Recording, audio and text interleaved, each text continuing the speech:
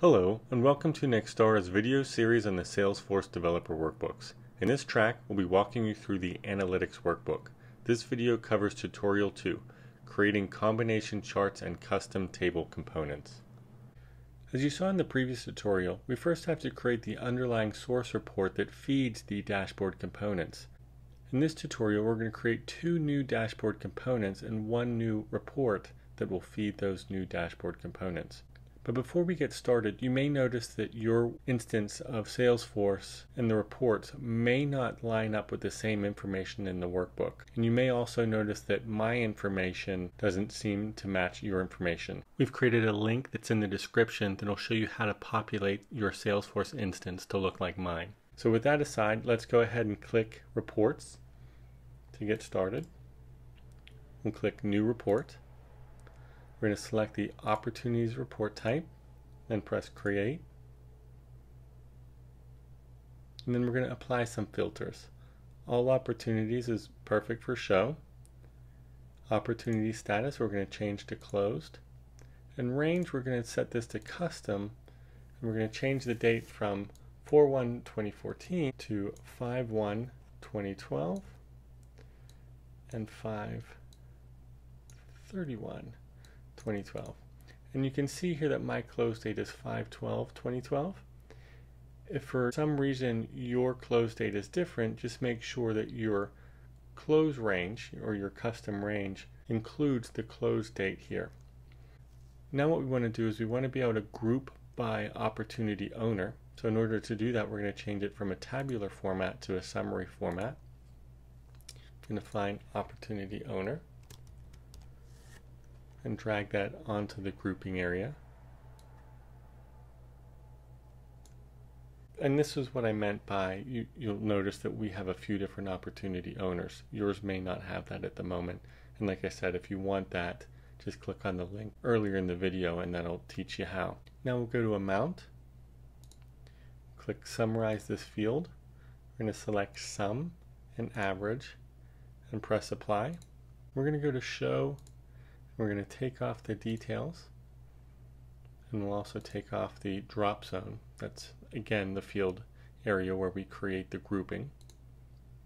And you can see here, here's our essentially our report. So now we're going to go ahead and press save. We'll set the report name to Sales Manager Leaderboard. We'll press tab to autocomplete, and then we'll press save. Now we're going to create what's called a combination chart. A combination chart allows us to plot multiple sets of data on one chart. This allows us to easily compare different fields of data. Also, creating a combination chart is a great way to make more fields of data available to a custom table component. This will become more clear as we create the custom table component on our dashboard. Let's get started by adding the combination chart. We'll click Add Chart. We're going to select the vertical bar chart type. This is also known as a column chart. For the y-axis, we're going to select record count. For the x-axis, we're going to keep it opportunity owner. And now to create our combination chart, we're going to check plot additional values. For the display type, we're going to select line. And for the value, you'll see there's nothing under here but record count at the moment. We need to use a second axis. So we'll check use a second axis. And now you'll see the two summaries we created on a report. We'll select the sum of amount. Then we'll press OK. And now let's save our report. As you can see, our combination chart allows us to show both the number of closed opportunities by rep, which is the y-axis and the x-axis, and also show the sum of the amount of those opportunities. Again, here's the x-axis for the opportunity owner and the sum of the amount on the other y-axis. The ability to show multiple data sets is the benefit of a combination chart. As stated earlier, adding a combination chart also allows us to create custom table components. Let's do that now. We'll close out of here We'll go back to the Sales Manager dashboard. We'll click Edit. We'll drag the table icon to the second column of the dashboard. This one's the table. We'll click Data Sources.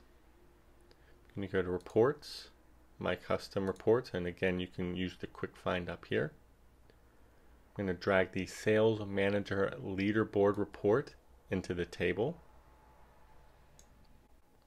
And notice that the table has two columns showing both the opportunity and record count. Let's go ahead and click Edit. We'll press Customize Table. For the second column, we're going to choose Sum of Amount.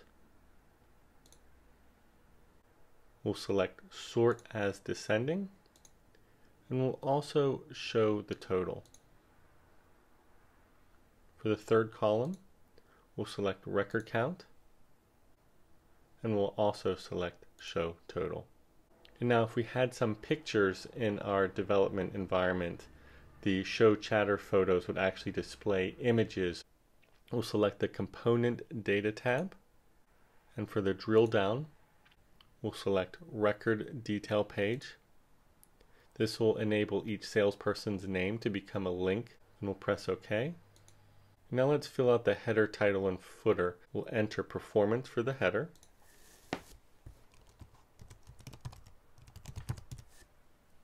Closed deals leaderboard for title.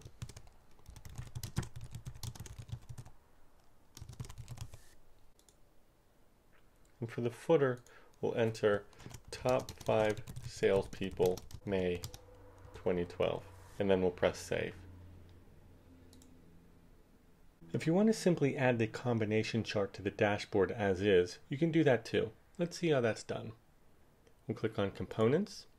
We can drag any component onto the dashboard. We'll go to data sources. We'll select the sales manager leaderboard and we'll drag that onto the component to populate the data.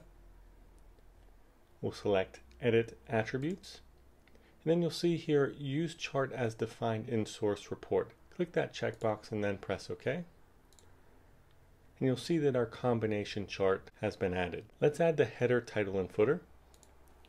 For the header, we'll enter closed sales. For the title, we'll enter deals amounts by owner. And then for the footer, we'll enter number of deals and sum of amount dash May 2012 and then we'll press save. Now let's create another report. Sometimes it's nice to see what's falling through the cracks. We can create a report with what's called a cross filter that returns opportunities that don't have any pending activities. Let's see how that's done. We'll go to close, save and close. And we'll go back to reports. We'll go to the sales manager leaderboard report put in save as, and we'll name the new report Sales Manager Neglected Accounts Report. Enter in the description if you want to, and then press save. We'll go here and to customize report. You can see that we're in the Sales Manager Neglected Accounts report and not in our previous report. We'll set the opportunity status to open we can keep close date for the date field. For range, we'll use custom. And in the workbook, it's asking for current and next full quarter, but because the data and close dates may be in a different time period, we'll just adjust these manually. So let's send the to field the end of September.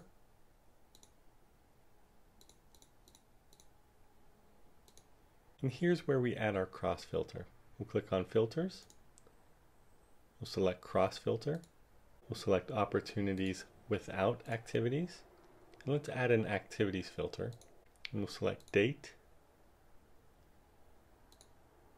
equals, and we'll type in next 30 days. And then press OK. You can see that we typed in a phrase there and for a full list of phrases that work, type in special date phrases in the online help menu, and that should give you a list of all the phrases.